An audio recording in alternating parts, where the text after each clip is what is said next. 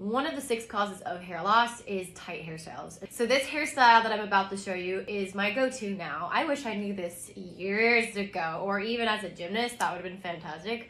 Um, but when you tug and pull on your hair in ponytails, usually people will notice around their face frame more breakage, uh, thinning even, and just just weak hair. And that's from hairstyles. So let me show you this hairstyle that is going to protect your face frame and it's not gonna tug and pull or be uncomfortable while you're working out.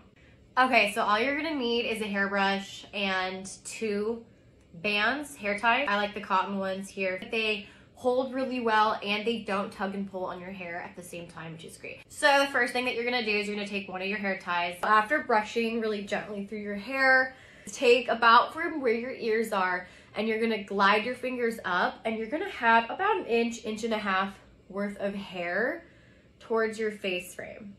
Just get it out of the way right now. So just use one of your hair ties and just get it out of the way, okay?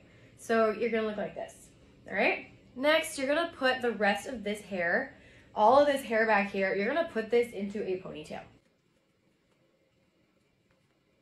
Now we're at the point where the majority of our hair is in this ponytail right here.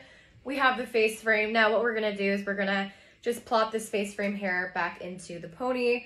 And what this does right now is that the tension from most of your hair is gonna be more to right here, right?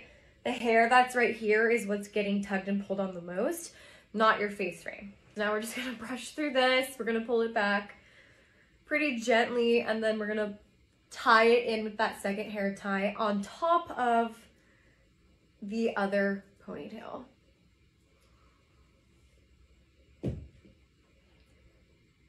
So you just grab the same hair and you combine the ponytails.